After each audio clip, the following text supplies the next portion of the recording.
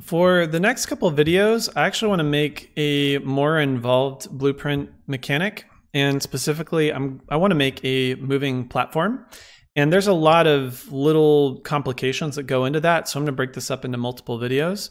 This first video is mainly just going to be setting up the platform, defining the skeletal mesh, and talking about custom events. And then we will build the animation into it in other videos. And uh, it'll have a lot of modular components to it because really I want to be able to build a moving platform that I can control the speed, um, the variation. Uh, you know, I may want to duplicate it around and uh, have them sync up and whatnot.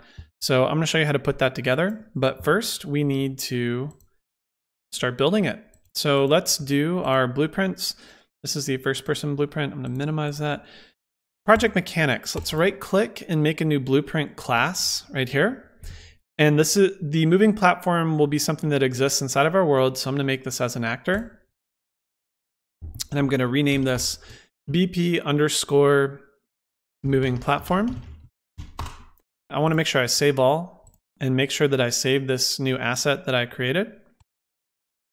Go back in there. So this is the pivot on the floor what I want to do is I want to give my moving platform, which I'm going to drag into my level now, I want to give this some sort of skeletal mesh.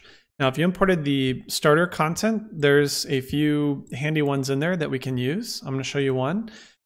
On our blueprint, we're going to add component and we're going to add a static mesh. Our mesh is set to movable, so that's good. Now we need to define which mesh. And if you if you look here, this floor 400 by 400, I think this is a pretty good size. You could make um, multiple moving platforms. You could expose this part and swap it out or, or whatever.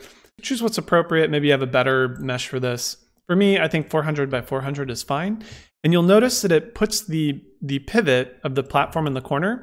I actually like that because it allows us to line, to line this up with the corner of our geometry somewhere. So we wanted this moving platform to come to this corner right here. That's where our pivot is. So that I think that's good. I don't really need it in the middle. So I'm going to compile and save. And let's see what happens to our room. You'll see how it swapped around. So now what I'm going to do is I'm going to reposition this where we want it. I'm going to hit the space bar or you know you can use whatever hotkeys to cycle. And I'm going to go to my position node. You may need to turn down the grid uh, or turn it up, but make sure you are working on the grid to some degree. I'm gonna move it to this corner right there. I'll just get it close. Doesn't need to be exact. Okay. And then I wanna make sure it's not going through the floor. So I'm gonna try to put it pretty close to the floor. I think that's fine. And then I can look at it and I can plan and I can say, okay, I want it to do this, or maybe I want it to rotate or something. Um, and I'm just putting my initial position. I'm gonna save my map, hop back into my blueprint. I wanna go into my event graph. Now we don't really need a lot of these nodes here. Um, one thing we do want is begin play because I want this to start moving on begin play. And I'm going to show you a way that doesn't involve the update tick or the constant per frame stuff. We're going to do this through a timeline eventually. That way we have more control over a uh, lerping value. But for now, we're going to do begin play and just say, you know what? As soon as this level starts, I want this actor to do something. And I want to talk about custom events because they're, they're really handy.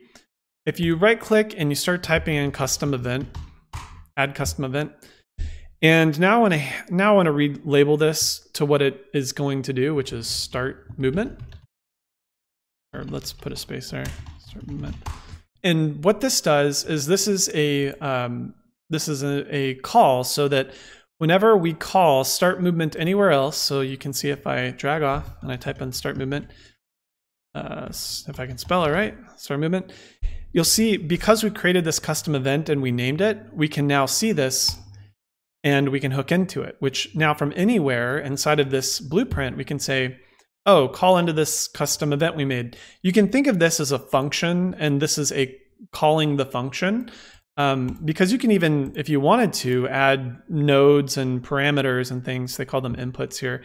You can add some parameters into this that will um, give you more control and more things to do, but I'm not going to bother with that yet. For now, on event begin play, we want to start the movement. And then we're going to pull off of this and just prove that it'll do something. Print string, start movement, compile save, minimize. And so now we're just calling our custom event because eventually we are going to want to call this event from multiple places in our script. It's just a really handy way of um, boxing this all up into a single thing and then just doing it once down here. Again, very similar to functions and calling a function multiple times in a single script. You, you don't want to retype everything. So if we hit play, you'll, you'll see the start movement actually popped up at the very beginning. So we know that we're getting our call inside of our blueprint. So now that we've talked about custom classes and we've done our setup, we're good to go into some, some movement code, which I'll do in future videos. And we can actually get this thing moving and it'll be pretty cool.